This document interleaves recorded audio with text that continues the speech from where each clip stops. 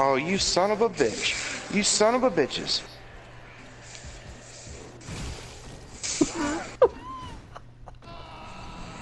Wow.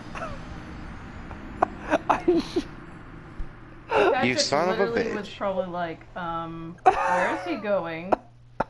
What is happening? Why did he go that way?